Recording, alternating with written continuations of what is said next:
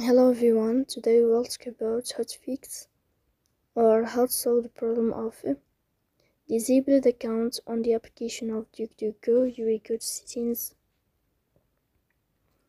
In this page, you will go to apps, default apps, app settings. On above, you will search about DuckDuckGo and you will click here in this page of app info, you will click on force stop and you will click OK. Here you will enter to the window of storage. Then we click on clear cache. But pay attention, don't click clear data because that can delete your account. In the end, you can turn off your phone and you can wait a moment to restart your phone again so please don't forget to support us by like and subscribe. See you next time.